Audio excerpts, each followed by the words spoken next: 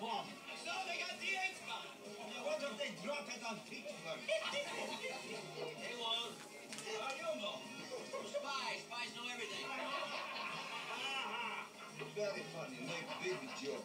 Don't worry, Stopper. Ruski's bomb. We hide in mine till radiator blow away. Radiation. Oh, that too.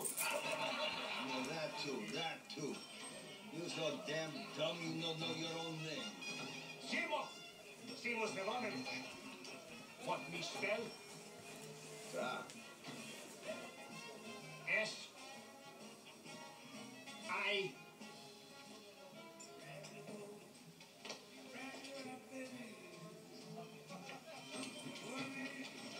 So Ziggy's just a nickname, huh? Yeah. you know can spell it. Where'd you get a nickname like Ziggy? Donkey threw him into a steam radiator.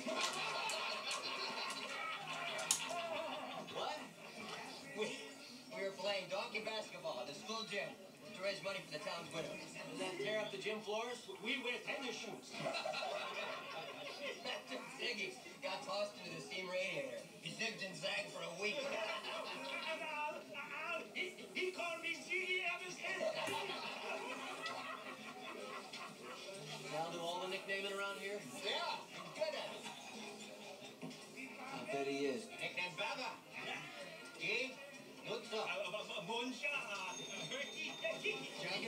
Snags, Mudda.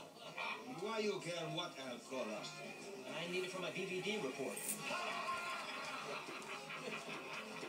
What about Gooshie? Did Al nickname Gooshie too? He must have. He, he, he nicknamed everybody. I'll no nickname Gooshie. Gooshie been Gooshie since day he was born. I'll only nickname dummy like Ziggy. You know, I'm getting a little tired of you calling him dummy. Why?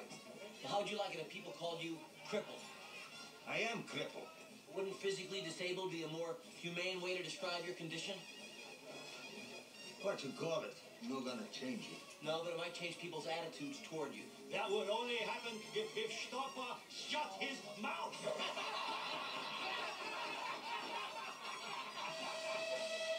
What's that? Trouble in mind.